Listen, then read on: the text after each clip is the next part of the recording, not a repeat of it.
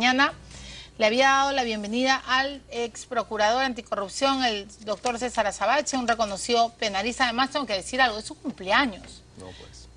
Te tengo que felicitar. Feliz cumpleaños, pero yo sé, perdóneme, pero se pone rojo. Pero puedo preguntarle cuántos años cumple, ¿no? Mm, no. Bastantes, bueno, pero en fin. bastantes, tenemos bastantes años. Pero que tenga buen cumpleaños, doctor, que le vaya bonito este nuevo año que usted inicia. Por favor, estos audios, que bueno, ya he visto el último, ¿no? Donde prácticamente se revela que Oviedo sí le había dado entradas, pero en Rusia, ¿no? Aunque eh, en la federación él haya lanzado un comunicado que se haya negado. Pero hay otros, eh, los audios usted mismo dijo que Chavarri, el fiscal, tenía que pedir de alguna manera disculpas por este audio en el que y Nostroza pues le pedía unos papeles adelantados, ¿no? Para que le diera, que le facilitara unos papeles para presentarlo para su visa. Y ayer usted en el Twitter, a mí me ha asombrado su poder de convencimiento. Porque usted ayer en el Twitter dijo que San Martín tenía que salir a pedir disculpas por lo que había hecho y le hizo caso, ¿ah? salió y pidió disculpas. Muy bien, usted es amigo además de, de César San Martín, pero lo que ha hecho no está bien. No, por supuesto que no. Y esa es la razón por la que se necesitan esas disculpas y se necesita además un giro muy fuerte en punto a que en el judicial cambien las cosas. Yo creo que... Eh, ¿Pero usted cree que San Martín puede cambiar las cosas después de lo que hace? Bueno, lo tiene que hacer San Martín como lo tiene que hacer también Chávarri. En la conversación anterior, cuando hablamos de la situación del fiscal de la Nación, dijimos que quien dirige la política de persecución del delito es el fiscal de la Nación. Ese fiscal de la Nación en particular ha tomado decisiones muy importantes, la consolidación de la fuerza de tarea que está a cargo de estos casos, la concentración de las fiscalías en el caso Odebrecht, entre otras, posiblemente menos visibles. Pues bien, el fiscal de la Nación tiene que resolver el impasse. Luego que, hicimos esa conversación en una entrevista pública, el fiscal de la Nación hizo un primer ofrecimiento de disculpas que medio que se ha desmoronado en el camino por otras declaraciones en vivo en las que ya no quedaba muy claro si en realidad se estaba disculpando o no, por una Junta de Fiscales Supremos que tampoco dejó muy en claro cuál era el sentido moral del abordaje que hacían. Entonces todavía la cuestión del fiscal de la Nación es una tarea pendiente. Yo no creo que el fiscal de la Nación deba ser destituido, ni mucho menos. Yo lo que creo es que tiene que eh, dar un paso adelante, hacerse cargo de todos los errores que está cometiendo y estabilizar su situación.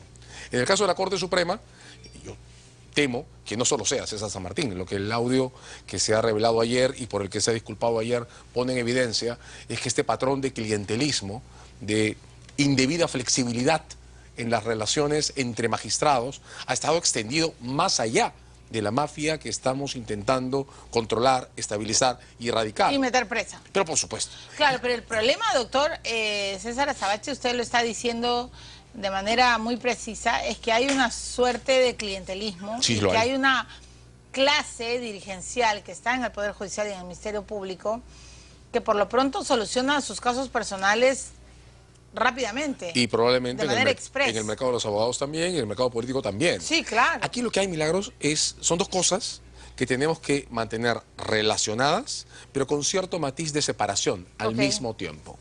Eh, y ambas son gravísimas. Por un lado está esta mafia que hay que erradicar, pero detrás, debajo y cruzada con esta mafia, hay un patrón de relaciones que hemos tolerado todas y todos. Porque hay que decirlo, todos hemos sido testigos de una u otra manera, con mayor o menor certidumbre, pero hemos estado en el medio de un sistema que se ha corroído en punto a su tolerancia a patrones de relación inapropiada, en las que, claro, como yo soy profesor, entonces voy a tener un trato distinto en los juzgados, aunque no reclame mi derecho a ser profesor, que lo que tienen los demás abogados. Porque yo soy magistrado, cuando tengo un caso propio, entonces ese sí se va a tratar con celeridad, rapidez y transparencia. Pero si soy, ciudadano, de tal, también me van a tratar como a tal. Así es. Ese tipo de cosas tenemos que transparentarlas y tenemos que erradicarlas del sistema al mismo tiempo y con la misma seriedad con la que enfrentamos a esta mafia que hay que erradicar. Entonces, no hay que minimizar las cosas. Lo de César San Martín es gravísimo. El hecho que César San Martín, que representa además todo un sector en la judicatura, en el mundo legal, distinto al que representa, por ejemplo, Javier Villastein, que ya no está, el hecho que represente a esa toda comunidad lo hace doblemente serio. El hecho que esto trascienda y se registre en el momento en el que estamos tratando de organizar una reacción fuerte que estabilice al sistema, lo hace también muy serio. Por eso la necesidad de gestos importantes. La disculpa, creo, es el principio. Ahora, a lo que la Corte Suprema tiene que entrar es a un ejercicio muy claro de transparencia respecto a lo que ha tolerado en este tiempo. Él ha dicho, San Martín ha dicho que se allana a todo tipo de investigación, ¿no? Ha, ofrecido disculpas y que se allana, y usted dice lo tiene que hacer. Em, Pero no solo él, Milagrosa, permíteme. Todos. Cuando digo liderar en este tuit que has comentado, a lo que voy es a lo siguiente.